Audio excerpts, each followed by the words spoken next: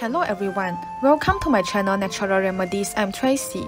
Although fruits are rich in nutrients and antioxidants, which is beneficial for your health, there are some fruits which contain a lot of pesticide and is harmful for your health. If you do not clean them properly and thoroughly, the toxic chemicals found on the surface of the fruits will cause disease if you eat them for long term. Now let us see which fruits contain the most pesticide and you need to clean them carefully before you eat them.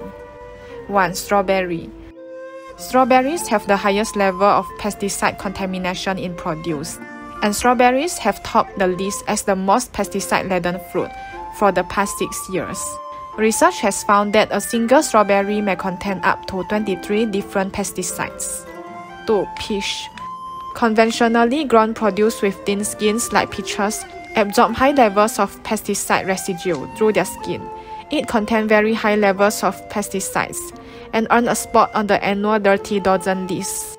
3. Apples Apples are generally near the top of annual Dirty Dozen list because they contain an average of 4.4 pesticide residues, including some at high concentrations.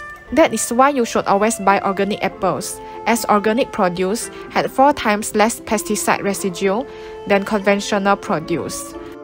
4. Blueberries Blueberries contain a high level of pesticides too. The thin skin allows the chemicals to enter the fruit's flesh. Buying organic blueberries is the safest option. Conventional blueberries contain about 52 pesticide chemicals. 5. Cherries Cherries are attractive to many insect pests.